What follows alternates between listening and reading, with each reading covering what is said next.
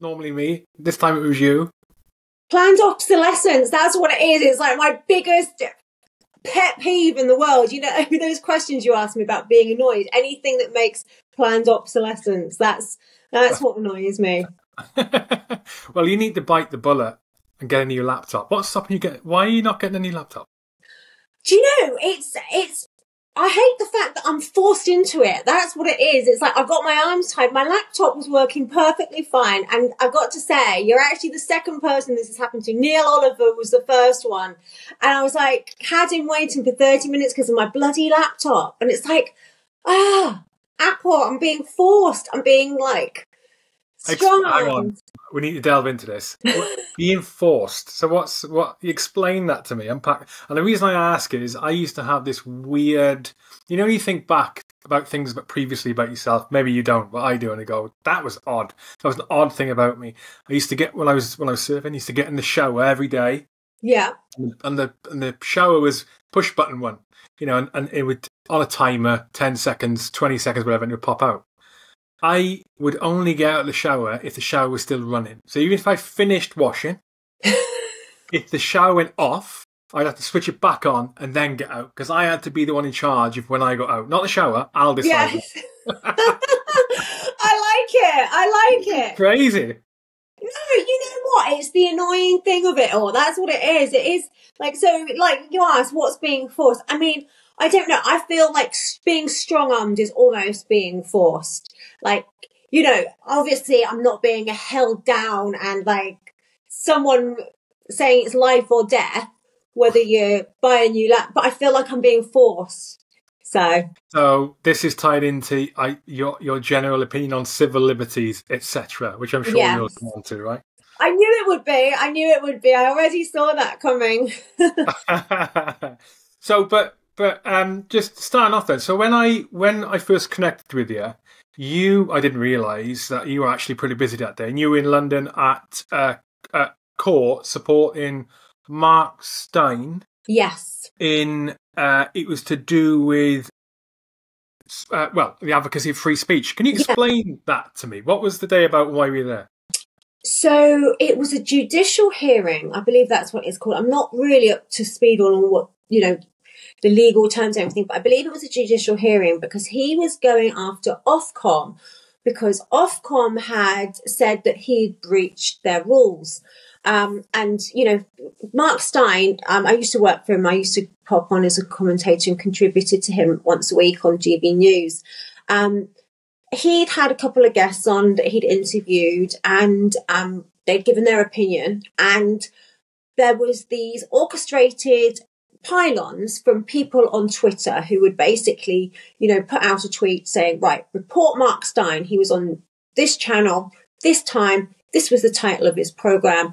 This is what he said. Now click this link, go report him. So they weren't even organic, you know, complaints. Basically, it was a real pylon um, from people. And what happened was, that then Ofcom went after him, and um, they said that they had he had reached their terms, um, and you know, Ofcom. I don't know if they're hired by the government or, or but they, they oversee what goes on TV, and now they're trying to oversee what goes on on the internet as well. So you know, this was definitely this is definitely about free speech and what he was able to say. And I didn't. the court was so packed that actually I didn't get to hear his um his well, he wasn't defending, he, he, he was going after Ofcom in this case for coming after him. Um, but when Ofcom went to defend themselves, I mean, it was crazy. The, the lawyer said, well, we're not saying that Mark is wrong. Basically, we're not saying Mark's wrong, but what we're saying, and we're not necessarily saying it's misleading, but what we're saying is it could be harmful. And then the judge, you know, interrupted a couple of times and she said like you know if you if you're having a chat with somebody and then they talk between facts and they give opinion how often do you expect a host to keep you know chiming to say this is opinion and this is fact like how do you expect that conversation to go? Didn't really give a valid answer. And then they said well and then they spoke about one of his guests dr naomi wolf and they were saying well we're not saying that Naomi Wolf was misleading, but we're saying it could be harmful. And so they said, and the judge again chimed in and said, well, hold on, wait a minute.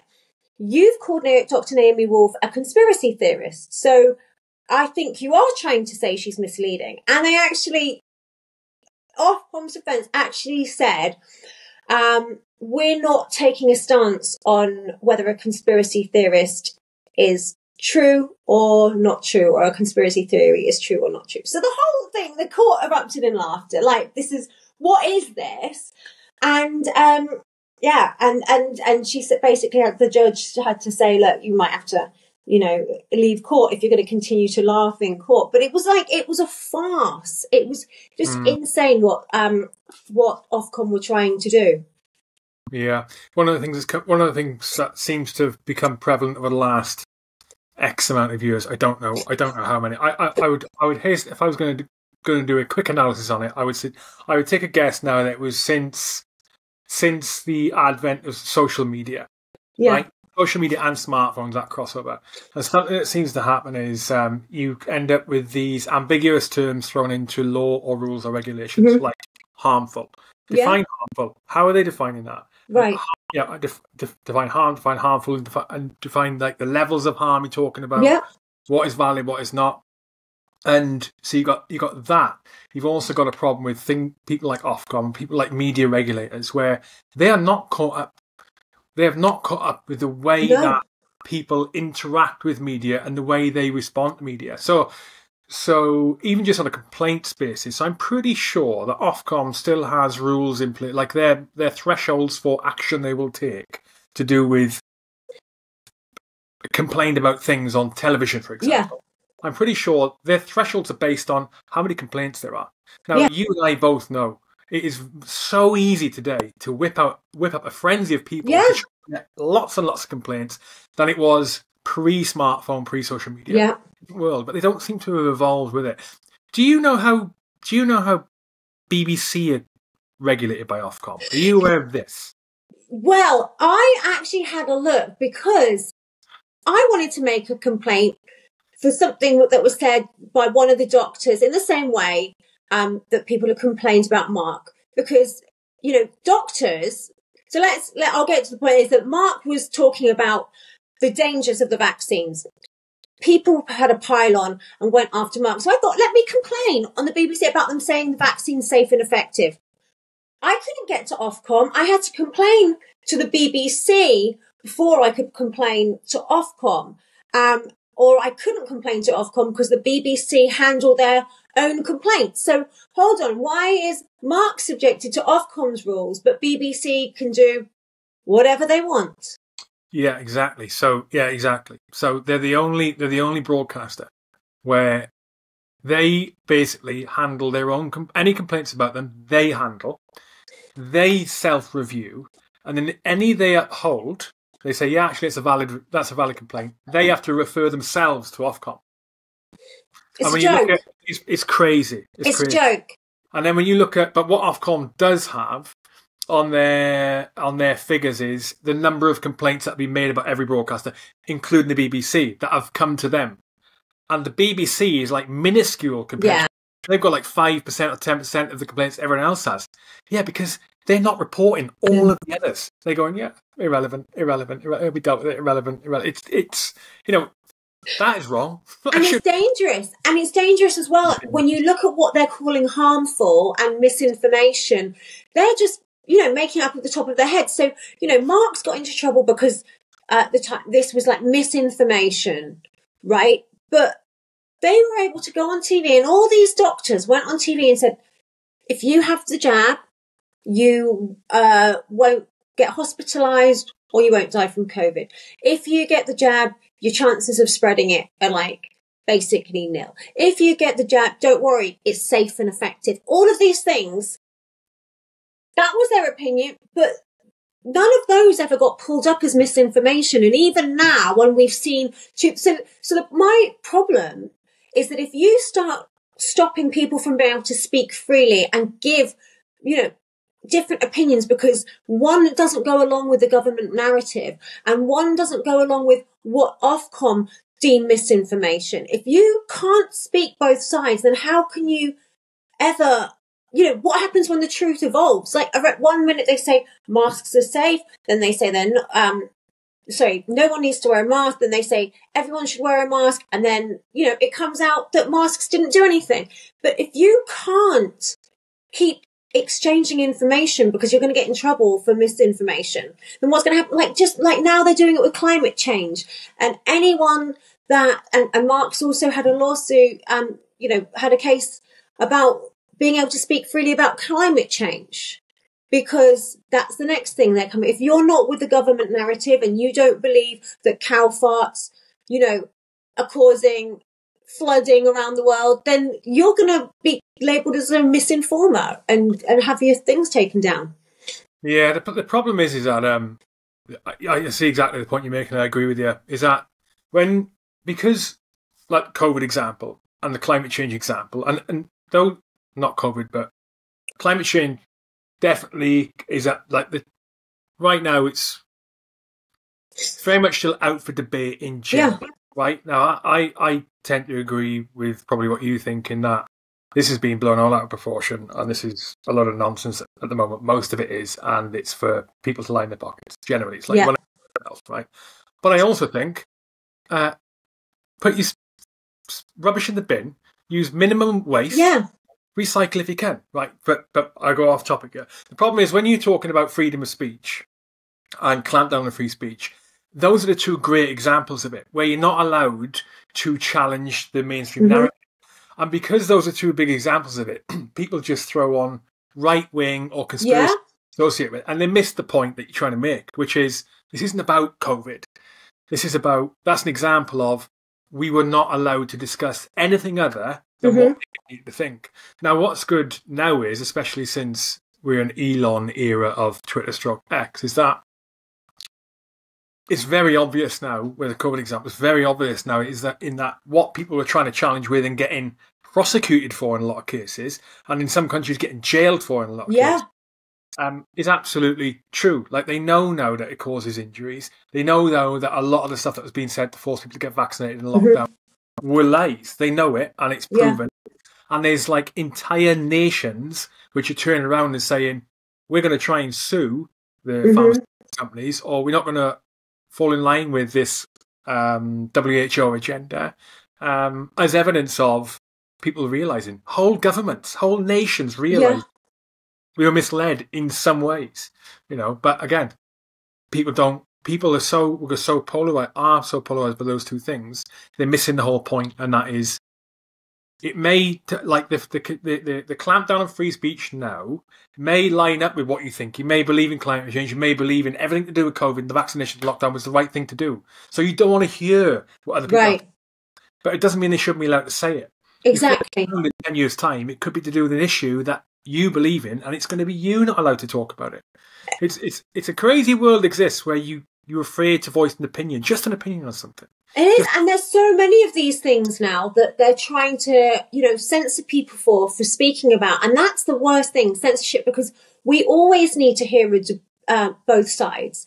We, you know, the the people that were speaking out about the danger of lockdowns, you know, how masking isn't going to help necessarily stop the spread, how it's actually bad to keep, you know, to be unable to breathe the air out, especially for children, how it's going to affect the way children interact if they're not seeing their parents' faces or strangers' faces. All of these things, and then, you know, obviously people talking about the jabs and alternative um, things to make your immune system stronger you know, for any kind of illness. All of these people got censored. So if you can't hear both sides of the story, how can you ever make an informed decision about anything? So I just don't think people should be censored at all in any kind of way when it comes to free speech. And, um, you know, obviously it's very different if it's, you know, really vile hatred towards something. But when it's like very just simple common sense, you're not you know, you're not wishing for the death of somebody. when it's something like that, you should be able to always speak. And like you, you know, with climate change and and everything else, actually, I was ne- um, I get called right wing or far right all the time. It's the most insane thing because four years ago, prior to this, people would probably have called me a lefty. I was living in Los Angeles. I was living in America, so I saw that people didn't have, um, you know, free or government healthcare. So I was always advocating for, you know, people shouldn't go into all this debt in their lives because they've had a health problem.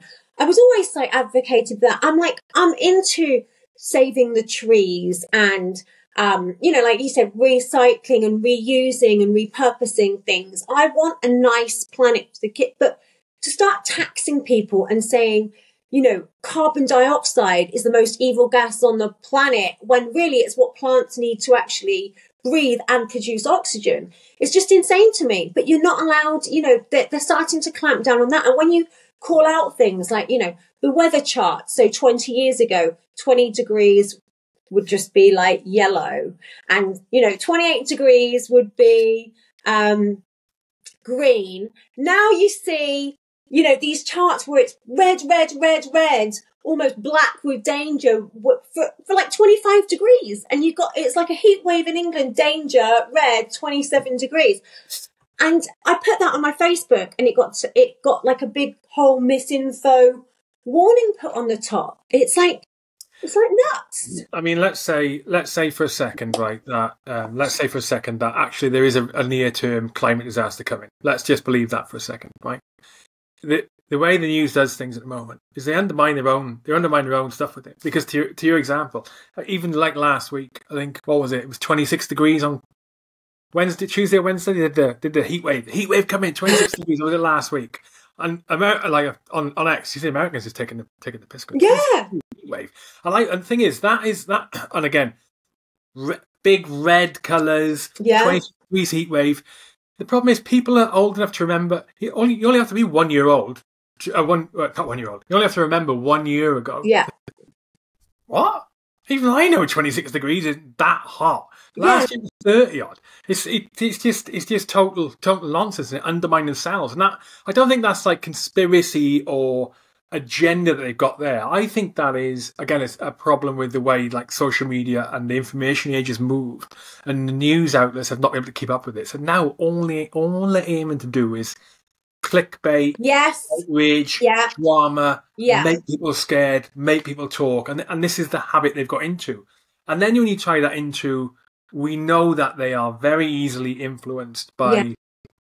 big, powerful organizations mm-hmm. either government, governmental or not. It makes for a perfect storm, and you, all you get is nonsense, right? Yeah. And then you add into that the extremists on either the left or the right, or whichever agenda, either the anti climate change or the one on same, or the anti COVID or anti vaxxers and the ones who are on board with it, they all, in their efforts to validate what they think they believe in without giving it any actual tri- full thought, they also whip out bullshit. Yeah. And they just chuck bullshit around. What, like, what you're doing? It's so hard, I think, these days to try and understand what you're reading, or seeing is should I how much how quality how much quality is that that I'm I'm, I'm reading or, mm-hmm. or, or, watching? How much attention should I pay? Should I listen to what this presenter is saying about this clip of I don't know Biden or I don't know Rishi Sunak or what this random X account is saying that has got ten thousand retweets or whatever about some undercover reporter who's just caught someone on on tape being racist apparently in Clacton. You know, that so. to me looked like a complete setup, like entrapment. That was that that that would be like me dressing in red, going out pretending I'm a Labour support, uh, a Labour canvasser, because it's canvasser. You got anyone can be a canvasser. I could be a canvasser. I could go pretend to be a canvasser for uh, Labour. I could knock on somebody's door and then they don't, or to, or, or their camera bell and they don't answer and then leave this like sh- really shitty message like or yeah. racist or homophobic or transphobic or bigoted message on it so they can hear it and then they can then blast that out and then they can go, oh, this late, but it's a setup. It's a, it would be a setup. It wouldn't even be, it wouldn't even be real. And this guy was obviously, it's so obvious he was like entrapped into something. Well, th- well, again, the thing is with this is that again, uh, social, social media X in particular is as we talk. So people will listen to this probably next week, unless I get out, unless I get out on the weekend. But you know, the, for people aware, this is the Andrew. Uh, what's his name? I can't remember his name. Um, the, uh, it's literally broken in the last in the last eighteen hours. Right, so at Channel Four, I've captured uh, undercover report I've heard in Clacton, one of Nigel Farage's Reform Party UK's canvassers being very racist, very racist remarks and whatever else, right? Within within 24 hours that story breaking, we've got new information. He's even been spoken to. So it turns out this guy's an actor. Um, uh, and so straight away that triggers all of the cons- all of the inverted commas conspiracy theories or all of the possibilities of what this could be. Like the most nefarious one could be Conservative Party or Labour Party have paid this guy to go in and yeah. The other one could be it's Channel Four have done it. I think those are those two are unlikely. The other one could be it's a journalist doing it to try and get a viable story. Yeah. Possibility. Or in all those ones, I saw a problem with it being that it has to involve the actor. It's a, it's a significant amount of self sabotage because it's got to be an element of like character assassination on himself to be willing to do this. Yeah. Which means if that was me, I'd be like, "You're going to pay me oodles of money if you want to do this," or I'm really thick and I don't realise. But as I was saying to you off off air before this, GB News have got hold of him and spoken to him, and he has said that um, he has said that he wasn't he hasn't been paid by anyone.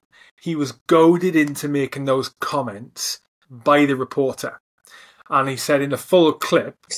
He is you you can hear him talking in his normal accent. He says he's well spoken. On his website, he says he's well spoken. Obviously, the clip that was shared of him being racist remark sounds like quite a common accent.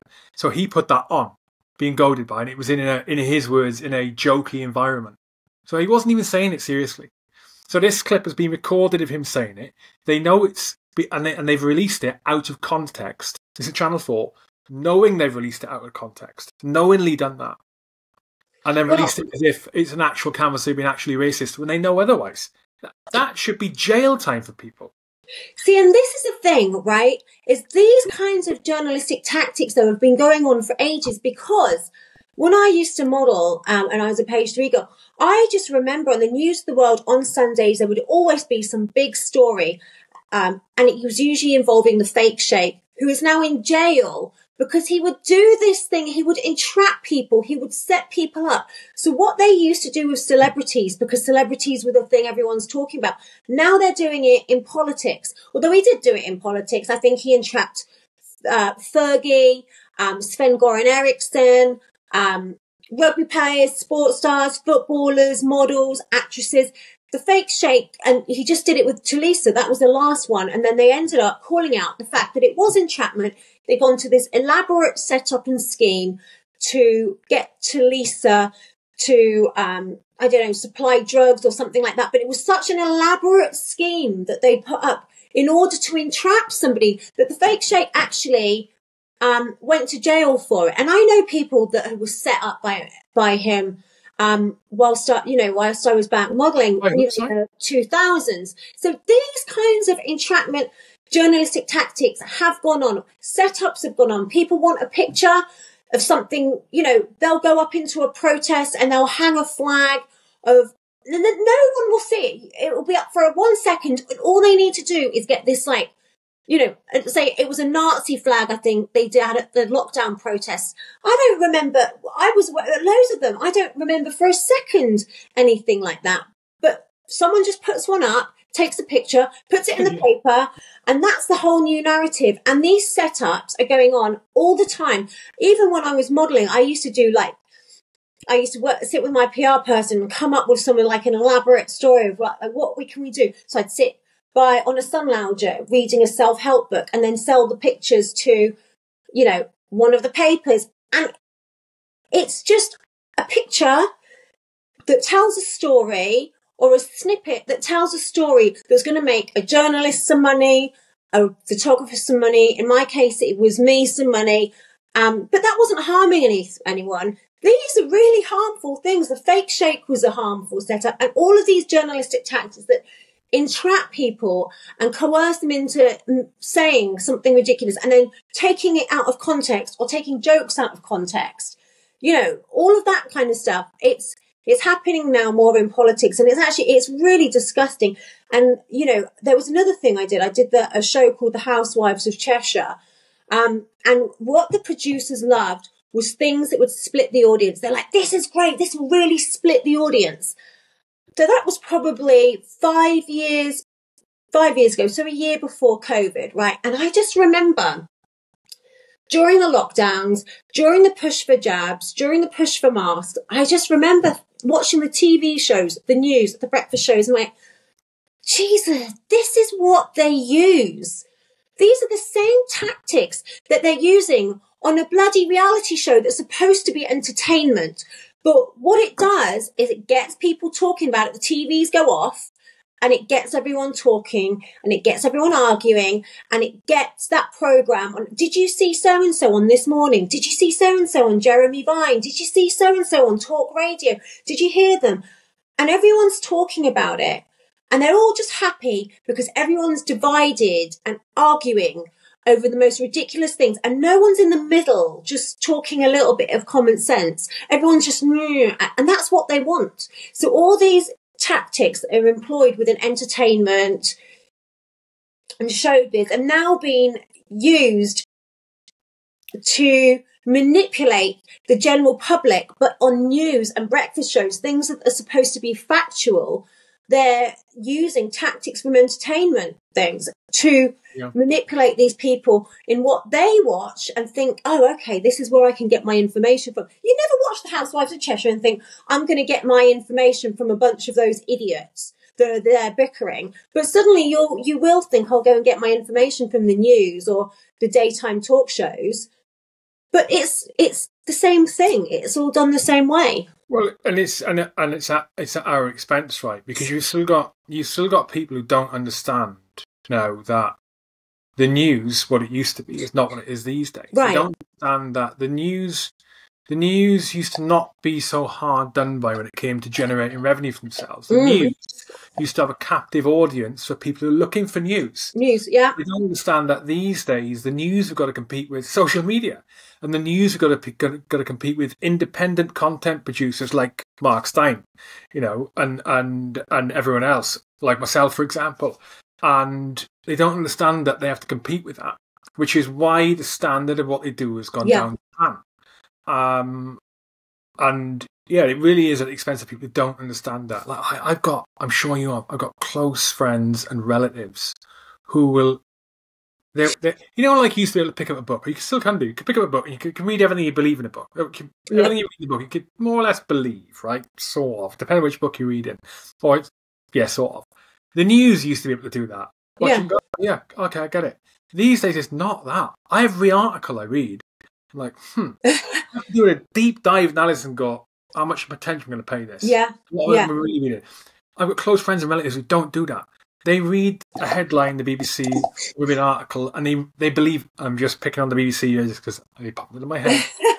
um, and they believe everything they read or see, yeah. or the opinion that's been put forward, or the spin that's been put on, or the way the story's been presented. To your example, think back to the I think it was something to do with anti-racism protests in London a couple of years ago. Do you remember? And I think I think the week before there'd been some other protests turned violent, and the news were all over it. And then this anti-racism protest in London happened, and, and they described it as a mostly peaceful protest. Do you remember this? Well, I remember the BLM protest in America, and there were literally flames above from the arson behind, saying mostly peaceful. I will, I will never forget that. I will never forget mostly peaceful, and there's a building on fire behind this reporter. I think in Minneapolis or whatever, one of the. the yeah, so the same happened in London. The same. So I didn't realize that happened in America. The same happened. Yeah. exactly the same uh, line. Mostly peaceful protest. This was only two or three years ago, though. Um, now, regardless of what the thoughts are on BLM, I my thought is why why does the media why did whatever the, the first MSM outlet to break a story, why would they not want to present the actual story? Why would they not want to say anti-racism protest turns violent? Because it was yeah. big. It was a big part of it turned violent. It wasn't the entire thing. It wasn't everybody, but it was significant. It was there were uh, there was police getting battered. Yeah. There was stuff getting set on fire. It's not mostly peaceful. This is bad. A mostly peaceful protest is the ones like you saw. I think it was an anti the first big anti-Palestine protest, which unfortunately happened.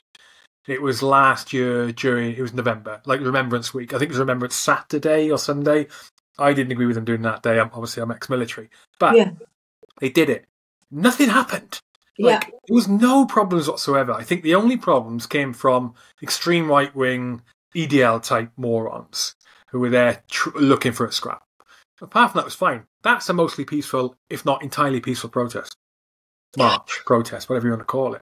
Why? I don't understand why they they they have to bullshit. Other than they need to get clicks. They need to. To your point, Yeah. it's in interest to divide. It is. Do you think that's just to get people arguing online? I think a lot of it is. I definitely think there is a lot of it. I think there are narratives that need to be pushed, like at the time, you know, to do with COVID. And also, I mean, of course, I'm against all racism. And I, it's even insane that I have to caveat it with that. But I remember the BLM um, riots and stuff because when they were happening in America, because I'd lived in Los Angeles, um, I lived by a place called Melrose, and BLM had gone through the the, the protests, and they they'd looted shops, and these were like independent shops. These were cafes. It was BLM and Antifa. So I'll elaborate on that a bit more. It was they they were all independent stores, like like cafes, coffee shops, sunglasses shops, little boutiques, little restaurants, the nail place owned by some little Asian ladies that I used to go to. All these places got looted or set on fire. And there were a lot of people rationalizing it and no one talking the actual truth. Now, what was crazy is I was saying how corrupt the organization BLM is at the time. So ignore what it stands for because, you know, I think most of us, if we're decent human beings, do not want to see racism, you know, want to treat everyone equally. But what was going on? It was it was a movement with paid agitators, and there were people.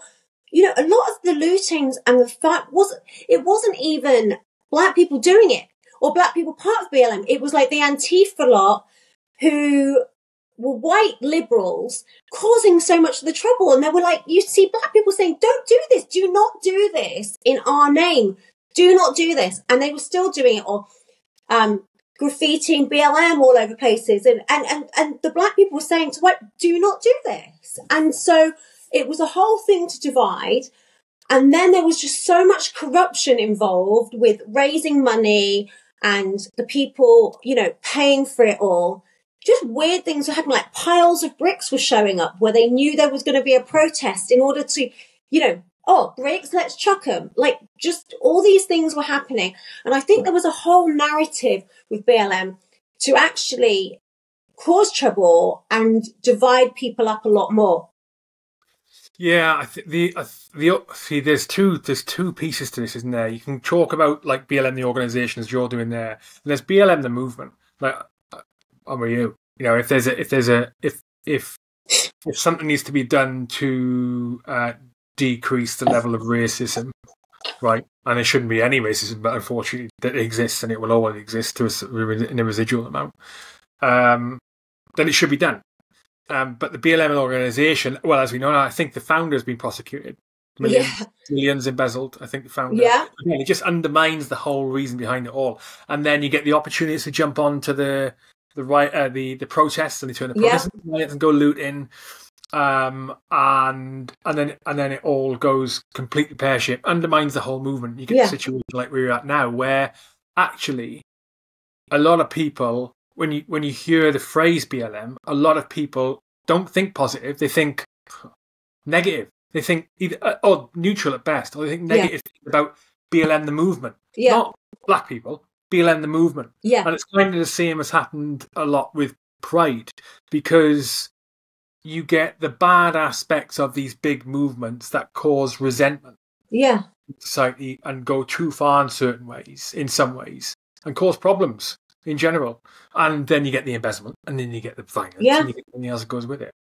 And then you get the DEI, the whole people like just doing it as a virtue signal. Like when you suddenly see all these companies, these corporations in America and the West changing their logos to the rainbow one, but actually where it's really needed, where gay rights are really needed, like in the Middle East, they don't change their logos. They keep it, they keep it the same because it's all just like, you know, it's all a bit of a virtue signal. It's like, oh, let's do, we we can change our pride flags because we can. Whereas really, you think, you know, Mercedes, BMW, um, and all these companies that are displaying these, re- you know, you can in America. You know, you can in the West. Why aren't you doing it where it's really needed, where rights are really needed? And you know, pride just used to be these gay people walking down the street saying, we just want to be able to walk down the street holding hands with our partners, you know, nicely dressed, holding their banners, well respected people. Now you have people on floats, men in floats, in dog outfits, with their thong, like little thongs,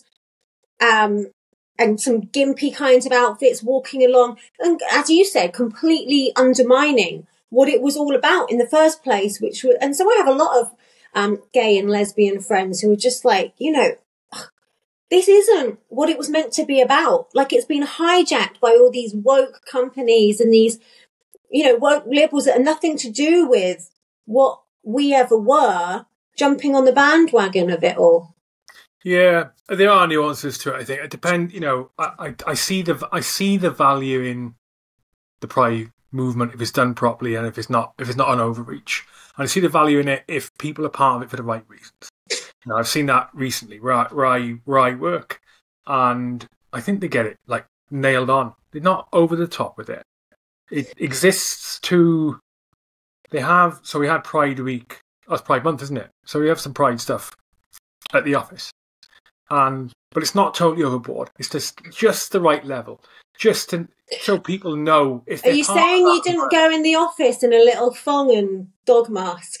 No, no, no, oh, yeah, that you didn't do that. Yeah, I mean, you see that happening in schools in America, don't you? All the drag stuff and all that. It's just complete overreach. Again, this goes to that, that you need to have balance and you need to know yeah. w- exactly what you're trying to achieve. The BLM movement, that organize or the organization when it's set up, that had no reason. It had no goal. Had no. no goal. Didn't know what it wanted to achieve, and it, and it ran away with itself. All that money, where did the money go? Yeah guaranteed it happens in other other um, initiatives. Guaranteed. Mm-hmm. Guaranteed. money going? Where is the money going? What's it what's it being used for? But um, again, circles back round to because these organisations are also good targets for polarising mm-hmm. and getting attention media wise. They're great. They're great targets, and then they can also be politicised. Yeah. You know, um, for wh- whether left or right targeting and to politicise positive or negatively. Look at exactly what's happening now in the UK. All of a sudden, Rishi, Sh- Rishi Sunak and Keir Starmer, who have never touched, who've hardly gone anywhere near any of these issues, like migration, like um, gender ideology, being taught in schools and things like this, all of a sudden they're talking about it, and it, it's like front and centre of their of their um, of their mind going in, in, into the election. They can't fool anyone you don't care. You, no. You've used it as a tool up to this point, and now you're changing the way you're using it.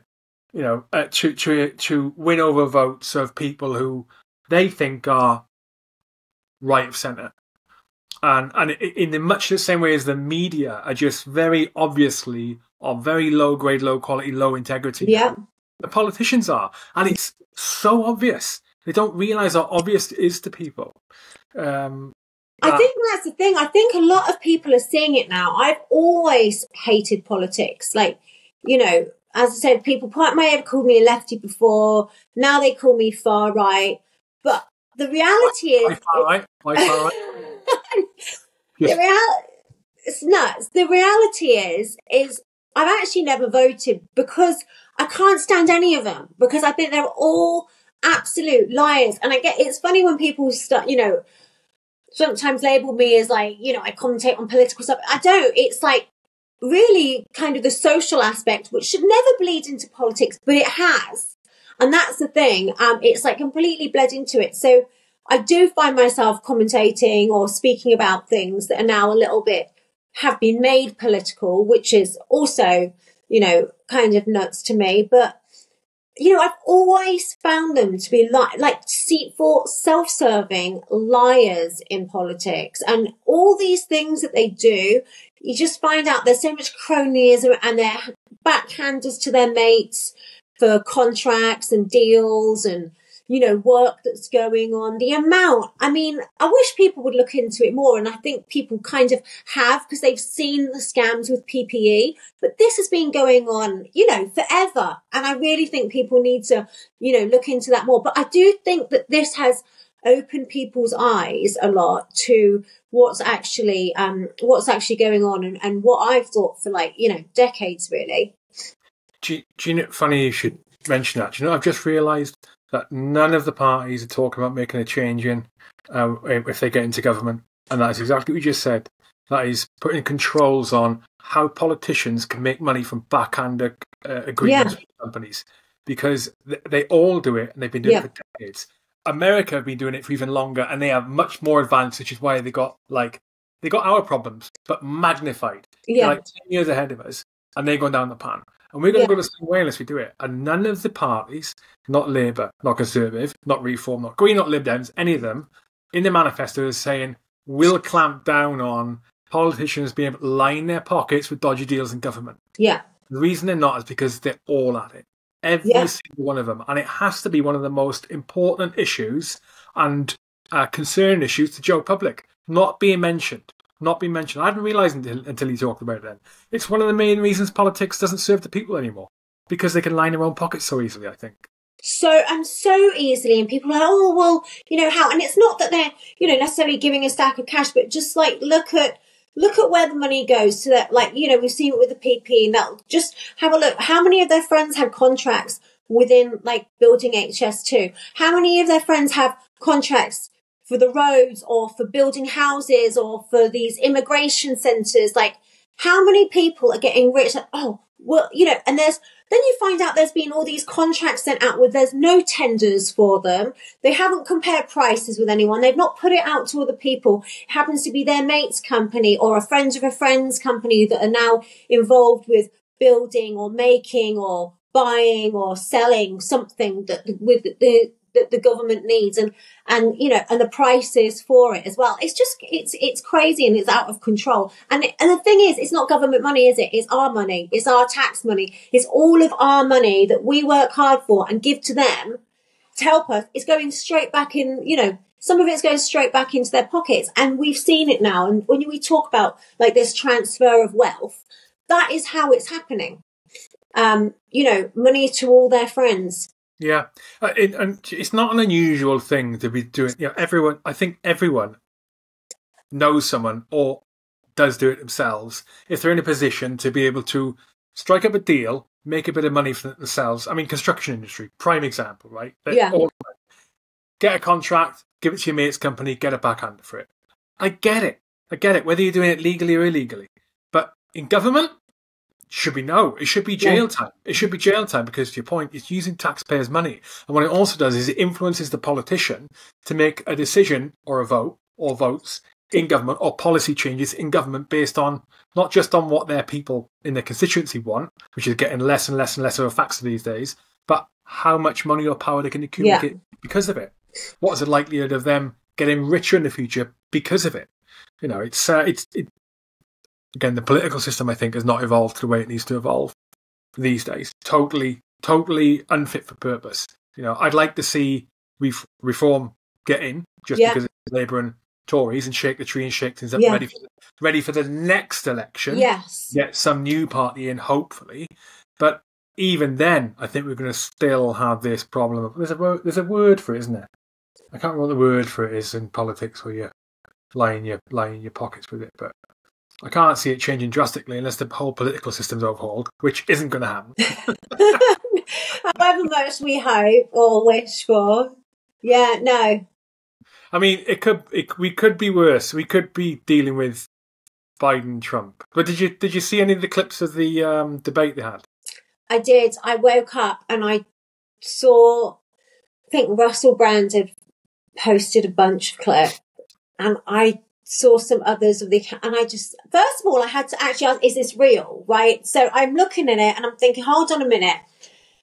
Are these real? Before I start reposting them, yeah. did this happen? Because it's so unbelievable. Like and then they think, God, okay, so who is running the country? Because this guy cannot, he's no fit mental state. He it's undeniable he has something like dementia or Alzheimer's. Like, you know, I, I and I, I've joked and I've joked for a while that like, you know, if I'm ever nervous about speaking in public or, well, I don't speak in public, but if I come on a podcast saying, all I have to do, look at one of Biden's videos and just know I will never be as bad as that.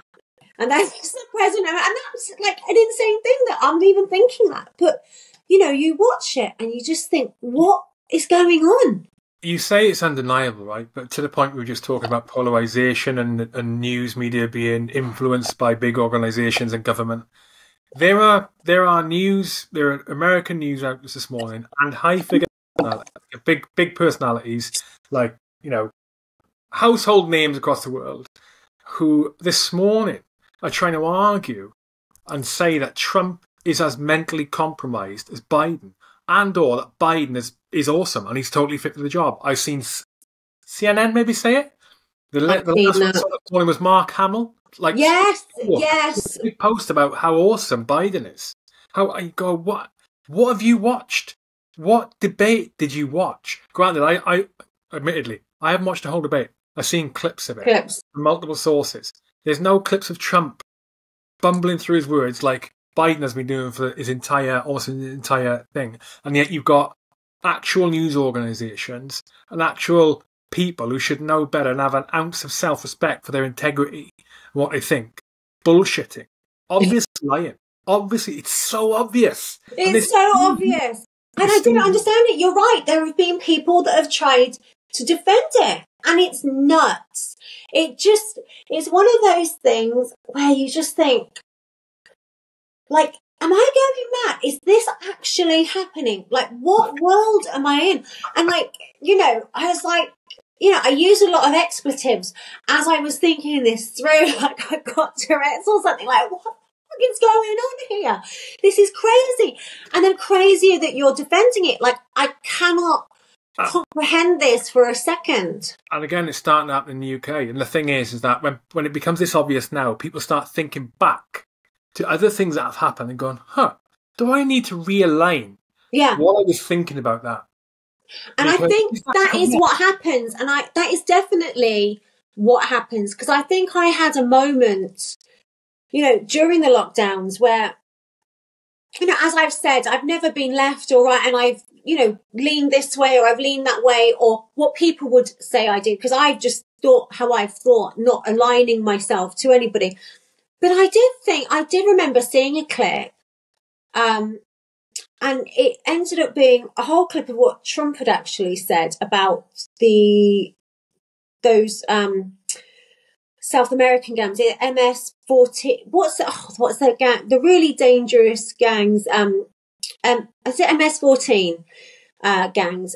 And you know, illegally coming into the country and, you know, what he called them. And I remembered hearing that he just said that about every single person from south of the border. And I was like, oh my God, they've completely taken that out of context. What else have they taken out of context? And then I kind of went backwards and I had that moment of like, God, I have really like taken in a load of shit from the MSM and believed it. The MSM and, and, and believed it. Like, you know, and I had to re, you know, readjust my thinking a little bit. Um, so yeah, I think, you know, I think it happens. And I think the only thing is, is they're making it so obvious that people aren't this stupid. I mean, some are. Granted, like there'll be some people, like you say, that's going to defend Biden till no matter what. But there'll be a lot of people that think, God, what is going on? What is going on? Let me just look back a minute. You know, if you've got any kind of sense or brain cell or crit- bit ounce of critical thinking, you'd be like, hold on a minute. What else have they been bullshitting me on? Yeah. Yeah, well, how else have you misled? I, I so the BBC, right? If I look at the BBC website, just as an example of what we just talked about the last fifteen minutes. So um, that the the reform canvasser being racist. So we know now, and it's been reported by GB News about this guy. Everything we just we just talk about. The guy himself has said, I was saying it jokingly, and it's been taken out of context. BBC homepage. Rishi Sunak condemns racist term used about him by Reform UK campaigner. That's head, that's one headline. Another headline: Reform UK campaigners caught making racist slurs. They are not publishing the fact that No. the guy's been spoken to and he has said it was taken out of context and he was goaded into it by the reporter, and they're not saying it. They're not saying it. So there's there is like the vast majority of the population in the UK right now today, right now at this moment in time, probably still think this guy was an actual horrible racist individual making these comments, and they don't know. And a lot of those people won't ever realise that No. that it was something else because they won't see it because they're just doing BBC or just doing Sky News. It, it is terrible. And we're going to go into an election like that with uninformed people or people who, you know, people who don't realise you need to go to two or three layers down into assessing news and information and stories that come out that you didn't have to. It literally takes more effort. But No. what's scary is I'm sure in school we all learnt about what propaganda was. I mean, I remember, you know, history lessons. What is propaganda? Well, the news did this and and this and that was censored and da da da da da. And this is propaganda. And so, you know, how are we not able to see propaganda now? Mm. How are we not able to notice it? I mean, not us, you and I, but probably the people watching this sh- show because they'll already have the open minds to want to seek information elsewhere. But, you know, how are the people that just sit there every night, just taking it all in and just letting this propaganda wash over them without thinking, wait, hold a minute, what actually happened? How did that happen? the problem is, is it's, it's uncomfortable to be in. I find it uncomfortable to be sort of understanding that this is the situation. I don't want it to be like that. I want it to be e- easy for me to navigate through the world. I don't want to get caught in a position where I think Yeah. everything is propaganda because it's incorrect. I don't want to get caught in a position where every conspiracy theory, in inverted commas, get thrown up. That every single one of them is true. I don't want to get caught in that, you know, because that's a really easy trap to fall into. I, like I, yeah. sure you know people. I know people who everything the government says is a lie. Everything the news says is a lie. Yeah. Everything it says about COVID is a lie. Everything it said about climate change is a lie. And it's not the case. Yeah. Like- A lot of it is. Yeah, no, no, that's very true. you know. How do you how do you navigate? How do you how do you sift through the, the bullshit conspiracies from the real ones? Do you know, I think I have a very good gut feeling of things. Um, and I also have to use, you know, my real world evidence of what I see going on around me, um, as well, because that's another people, you know, a lot of people will listen and take in what they're seeing on the news, but don't look at what's happening in their everyday life. Like, how true is this? Do I see this happening? Are people just falling down in front of me um, with a cough and dying on the spot? You know, this kind of thing. So for me, I do that. Um, and then I look at diff- lots of different sources. I look at, you know, I ask questions, people smarter than me, people, um, you know, people that have maybe expertise in particular areas. I'll ask other people questions. I also want to hear what everyday people think of things, you know, people not in my line of work or necessarily people that don't have um, all the same views about every single thing as me. I want to hear different things. And then also sometimes I have to just cut away from it all and take a little break and just do Yeah. nothing and just like get out because otherwise it can be very, very overwhelming with all this like constant information.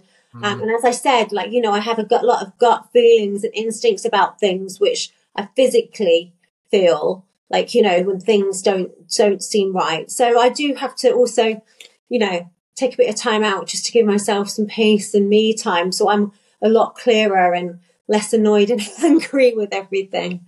Yeah, yeah, it's difficult. I try and do two things. I try and make sure that my where I'm getting my information from is, is not all people I I are aligned in my thinking. Yeah.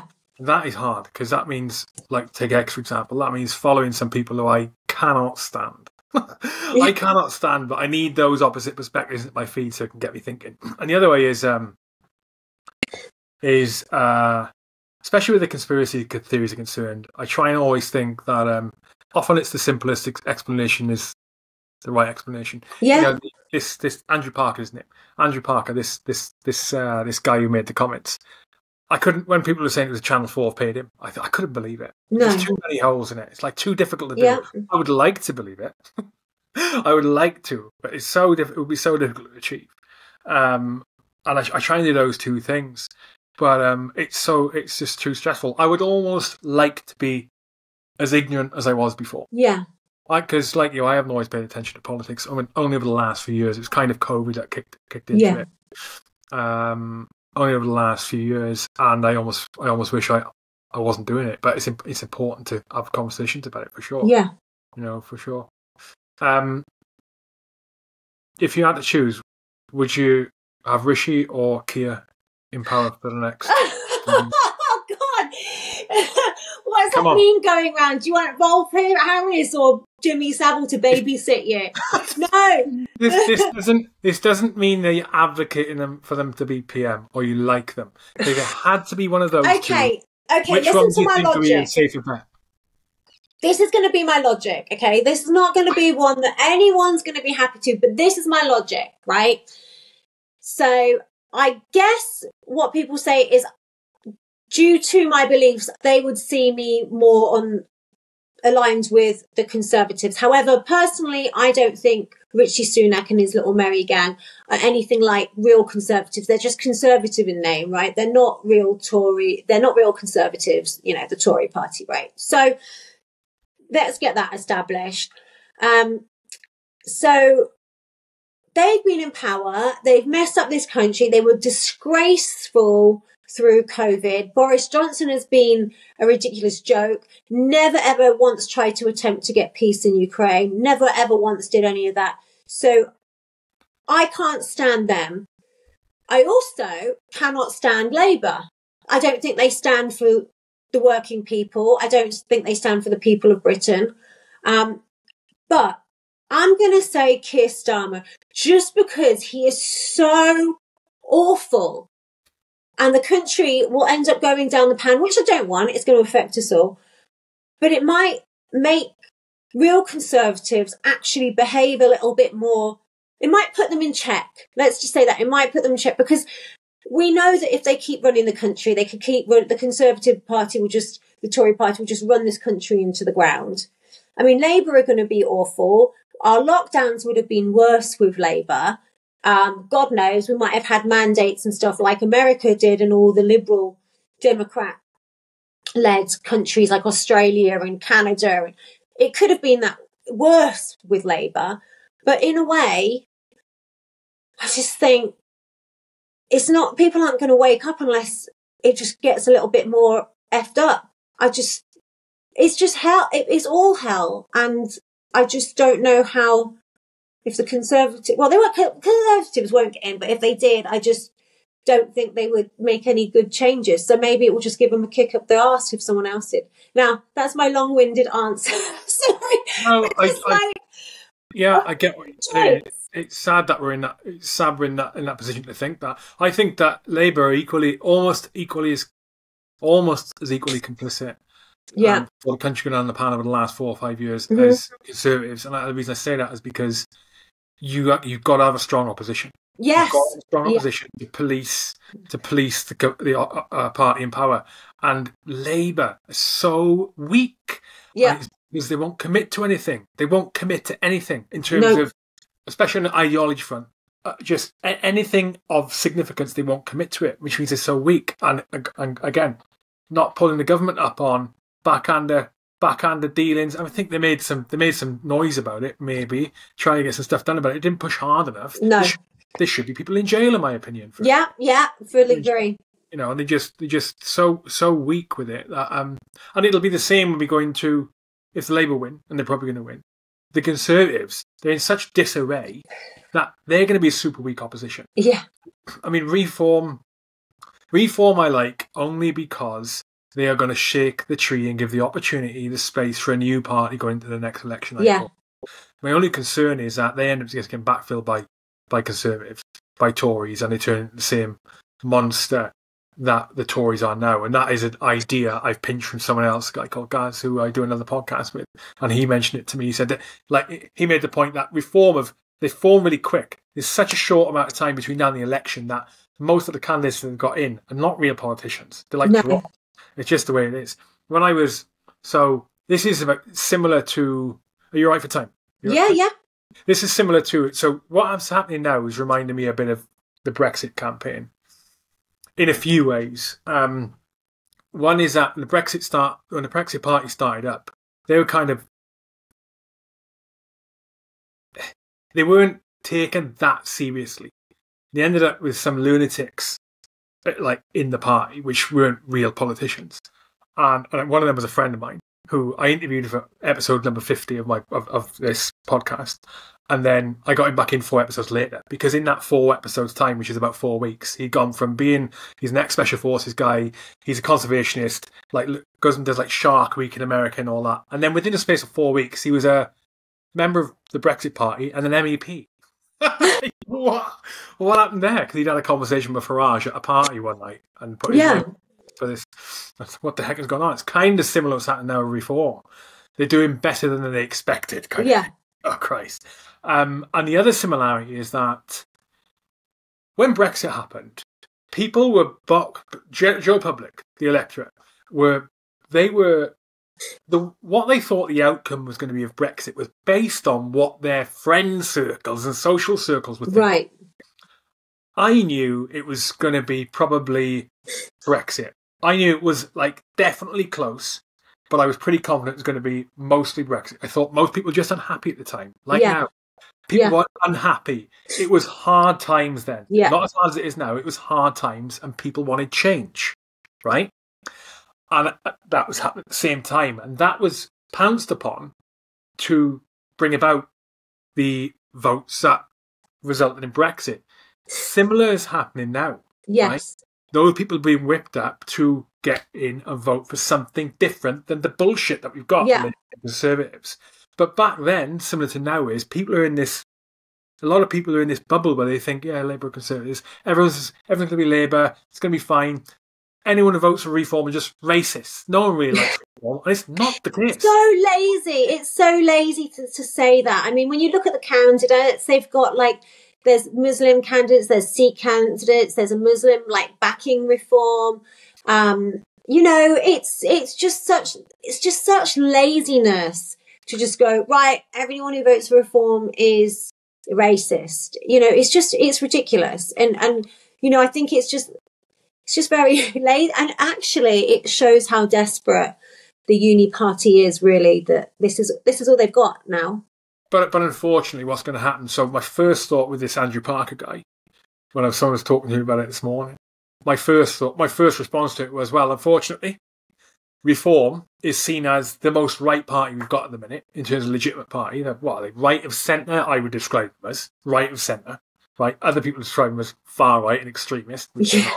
But unfortunately, because they're the furthest right on the spectrum, you they are going to attract the EDL types Yeah, you are going to attract those assholes who literally think people are less than them because they've got a different skin colour. They are going to attract that. And that's my first thought with this canvasser. I thought this is an actual racist. And unfortunately, you're going to get these people supporting because they're morons and they and who think that reform is a racist party because they're anti-immigration, anti-mass immigration. You know, it's going to happen, unfortunately. But I am really hoping that is a big shock, you know, next week. Um, uh, again, to shake the tree. Something needs to happen because we can't keep going on. The next five years are going to be a nightmare. yeah, Be a nightmare.